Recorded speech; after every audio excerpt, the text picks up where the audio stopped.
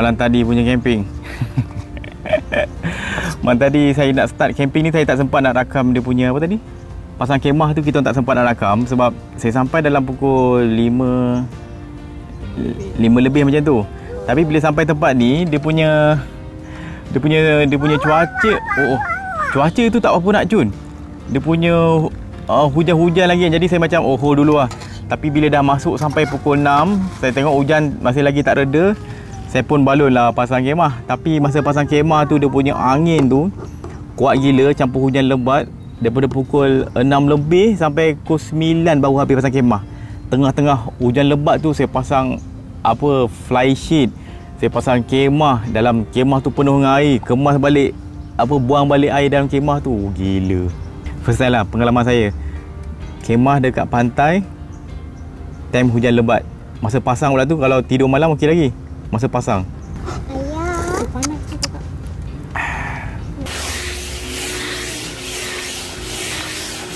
Settle vacuum saya nak share dengan korang macam mana saya dapatkan full tenaga elektrik. Saya gunakan solar panel ni. Yang saya guna ni daripada Blue Yeti solar panel. Bila matahari cun saya just bentang saja. Pastikan angle dia cantik. Saya sambungkan solar panel ni secara bersiri positif ke negatif? Positif ke negatif? Dia macam bateri lah kita sambungkan. Ni ada wayar positif negatif ni. Saya sambungkan negatif ke positif. Ini pula negatif ni sambung ke positif ni? Ending dia saya akan dapat dua wayar negatif dan positif. Tu solar panel dekat sana dia aja. ha, pastikan kena full matahari. Alright kita masuk kat dalam rumah saya kejap. Rumah pula saya punya kemah kejap. Ok tu solar panel sambung wayar kat situ. Wayar ni saya DIY bagi panjang sikit masuk kat belakang ni ke bateri saya. Saya ada dua bateri ni daripada Blue Yeti ni. Dua-dua Blue Yeti bagi saya belanja. Saya buat custom connector dia ni supaya mudah saya nak switch. Contohnya saya nak charge Blue Yeti yang 2400 watt hour punya ni capacity ni. Ini guna untuk saya punya peti sejuk ni. Full saya buat untuk peti sejuk saya. Nampak tu? Peti sejuk ni. Kalau nak saya boleh gunakan peti sejuk ni untuk camping 3-4 hari. Kalau ada full matahari. Contoh macam ni saya charge untuk tiga keping solar panel tadi, saya boleh dapat dalam 210 watt. Saya ada satu lagi power pack kat sini. Saya guna untuk macam-macam lah. Saya guna untuk charge handphone, charge saya punya mic. Untuk lampu saya, saya ada contoh sekarang ni tinggal 74%. Saya boleh bagi output AC tau. Ha, nampak tu saya buat Thermomix. Masak guna elektrik saja. Saya gunakan Thermomix ni dalam maybe 6 ke 7 masakan saya guna. Contoh eh, kalau ni wife saya tengah masak kari ni, Nampak tu? Kita masak kari boleh dan anak saya buat lemonade pun boleh buat air. Sekejap. Biar adik anak saya settle kejap. Okey, blend. Ha. Alright. Minum lemonade sejuk masa camping memang layan.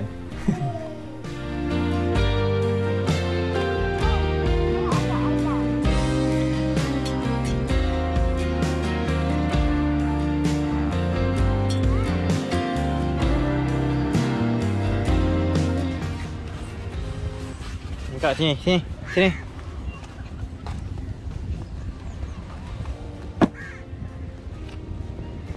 Woo! Buka tayar dia.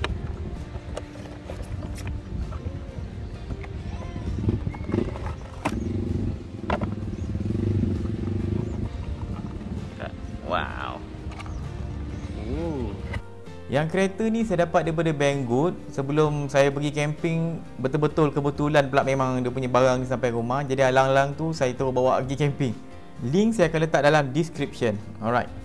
Okay, dia dah hujan dah.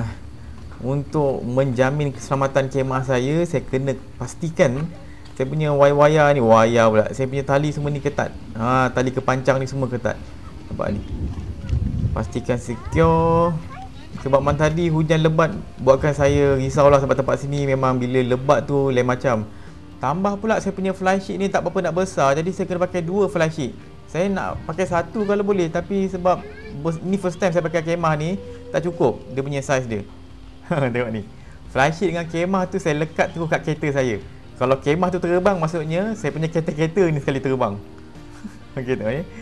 Tengok belakang sini pun tepi ni Nampak tu? Yang tepi ni pun saya akan gunakan tayar saya. Saya ikat terus direct ke tayar saya. Bagi secure habis lah. Alright. Okay, ini lampu belakang memang biasa kalau saya camping saya akan pastikan belakang kemah saya ada lampu untuk saya nampak kalau macam ada benda bergerak siapa-siapa kat belakang lalu saya akan nampak bayang dia kat belakang kemah sebab ada lampu tu Okey, ini pagi yang ketiga lepas makan saya settle basuh pinggan dan saya kemas kemah sebab kejap lagi nak balik dah ni Okey. Alright. Ah, hari ni adalah hari ketiga camping saya. Lagi kita orang balik dah. Ni kejap lagi akan kemas dan balik. So sedang alang-alang tengah kemas ni Saya nak share kat korang Macam mana saya punya setup camping. Ha, Sebab semalam tu saya tak dapat Bukan semalam, semalam lah. Ha, Semalam saya tak sempat nak share semua. Disebabkan Port ni kejap hujan kejap tak. Dan bila hujan tu kadang angin kuat dan lebat sangat Terpaksa lah saya hold sikit record Tak boleh banyak sangat record Mungkin next time saya akan record lama sikit Cuma tu lah sempatlah saya nak share kejap Macam mana saya punya setup Macam ni kata setup full power camping. Hmm, bolehlah. Jom. Sementara anak saya dengan wife saya tengah main pantai, kita buat uh, camp tour kejap. Ha, kat sini saya kemah ni dekat H&N campsite eh dekat Port Dickson. Okey, masuk kemah saya. Oh, sebelum masuk kat tepi ni patutnya ada kursi meja lagi besi. Tapi saya dah pack masuk dalam kereta sebab saya tak nak kena hujan malam tadi. Okay, ini saya punya bag-bag yang ada kat sini apa? Sepah ni jap. Okay, ambil beg ni kejap Letak tepi ha, Kan okey sikit tu Okay, saya letak beg sini Situ kereta saya sebelah saja. Ada satu tilam kecil kat sini Untuk saya tidur malam Saya baring kat sini Dan saya pantau Dalam tu ada bilik tidur lah okay. Sini Bahagian-bahagian memasak Bahagian-bahagian ini Saya letak apa kat sini? Saya punya kapak Saya punya pancang Saya punya tu Saya punya tali-tali Semua dalam ni Senang akses Alright. Dekat beg sini Ni kapak tadi. Kapak aka Penukul. Ketuk pengetuk untuk saya punya pancang. Ini beg kalis air apa benda? Nama beg saya dah lupa lah beg apa dah nama ni. Ok ini barang-barang bateri saya semua dalam tu. Dan sini saya ada sekejap eh. Mana saya punya ni? Ah tu ini saya punya lampu. Saya punya beg lampu saya. Dalam ni khas lampu sahaja. Ada banyak lagi lampu dah terkeluar letak-letak tepi kemah ni. Tapi ini lampu yang ada balance lagi tak guna. Ah, ini untuk main-main lampu dengan anak-anak saya lah. Ok so ni tempat masak saya thermomix peti sejuk. 5 hari pun boleh survive dalam tu. Saya punya vacuum cleaner kipas kecil untuk depan ni saja. Dan saya punya set bateri saya. Ini lampu untuk anak-anak saya jalan-jalan malam nanti. Ok kalau saya buka sini jadi slow sangat kuat sikit. Ha, macam ni saya pegang lampu ni bawa anak-anak saya jalan tepi-tepi pantai.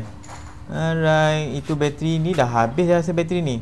Sebab bateri ni kalau tak saya charge saya sambungkan wayar dia connect pada lampu ni lampu malam saya lampu jaga. Kalau tekan on off ni dia akan terbuka Tapi itulah. Bateri dah habis Jadi tak nak tunjuk lah. Kalau tak saya boleh charge bateri ni Tapi disebabkan 3 hari ni Sentiasa Mendung je tak boleh dapat nak, Tak dapat nak charge bateri ni. Saya tutup jap ni Ok ni bateri yang besar sikit. Ni dalam 2000 watt jam. Saya gunakan untuk masak semua. Yang ini Yang 2400 watt jam punya. Ha, Ni kapasiti banyak sikit. Sebab tu saya boleh on 24 jam. 3 hari ni saya on sahaja Untuk hidupkan saya punya peti sejuk tu. Uh, boleh tahan sebab dia punya capacity banyak lagi. Cuma dia tak advance sangat lah. Yang ini bateri satu lagi. Backup bateri saya untuk charge handphone semua. Tadi kotak saya pakai luar tadi. Yang ini backup untuk charge handphone dan saya guna untuk kipas ni ok tengok ni saya buka on kejap kipas ni. 1, 2, 3 uh, sampai mode 3 paling kuat tu. Supaya dalam ni memang malam memang sejuk lah. Tidur malam sini. Tengok eh. Saya punya berapa saya guna tu? Dalam 11 watt. Ni tepat tak tepat sangat ni. Maybe dalam 13 watt patutnya. Selain daripada kipas dengan charge handphone Saya guna bateri ni untuk onkan saya punya diffuser malam-malam. Bagi wangi saya punya kemah ni. Jadi kat atas tu ada wireless punya charger. Saya cakap situ saja. Ok itu bag saya. Simpan barang-barang penting. Ini tilam angin yang besar. Bolehlah besar juga. Bukan paling kecil Besar sikit. Lepas tu bantal dengan selimut tebal. Settle. Ha, Tidur kat sini lah. Ok Apa lagi? Hmm. Alright. Situ saja.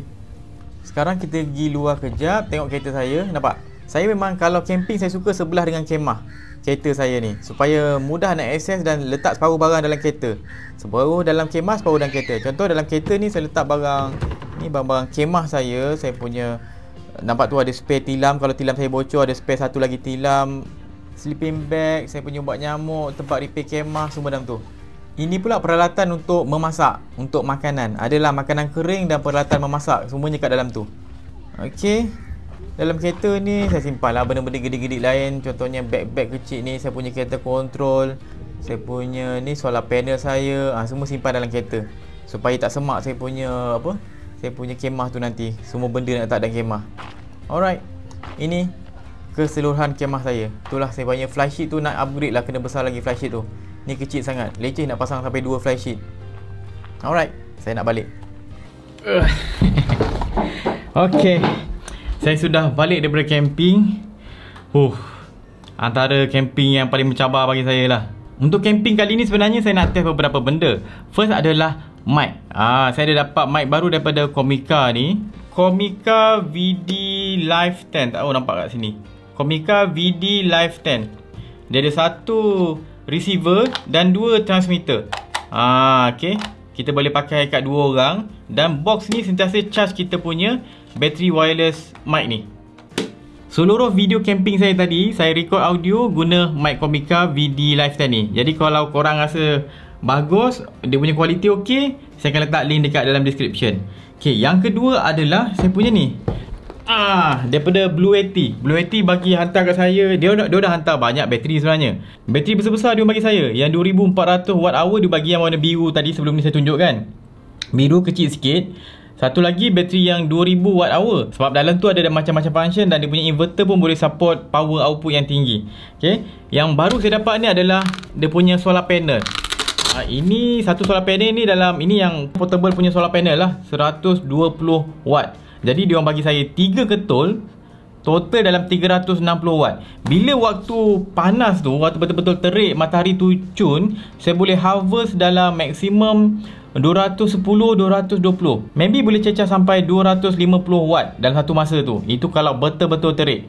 Tapi most of the time bila matahari dia macam agak panas sikit saya dapat dalam 210 saja. 210 watt ni boleh lah. Cuma itulah saya tak dapat nak pakai solar panel ni sentiasa sebabnya musim sekarang ni musim hujan kena pula dekat Port Dickson tu memang memanjang mendung saja. Selamat saya bawa dua biji bateri besar tu sebab saya nak masak full gunakan saya punya Thermomix tu. Saya tak nak guna api sangat sebab boleh masak dalam kemah. Kalau kita pakai api tak boleh masak dalam kemah eh. Untuk bateri yang kapasiti dia 2000 watt hour Saya tak dapat masak banyak sangat sebenarnya. Sebab saya dah guna banyak untuk cas bateri, cas handphone. Malam-malam saya hidupkan lampu kan Macam-macam saya guna bateri tu. Saya boleh masak dalam maybe 6, 6 kali masakan saja. Saya tak cas bateri saya tu sebab saya tak dapat pun cahaya matahari. Sekejap bila saya dapat cahaya matahari tu. Saya bentangkan saya punya solar panel. Saya record video. Selamat sempat record video. Record video kejap Lepas tu dah start mendung ha, Lepas tu saya bawa masuk dalam ha. Dah mula hujan intik-intik dah Saya bawa masuk dalam saya, saya punya ni Solar panel ni. Satu masakan bukan mewakili satu kali makan eh. Ha, Bila satu kali makan Maybe saya makan nak masak nasi sekali Lepas tu masak lauk sekali. Maybe dua ataupun tiga kali masak.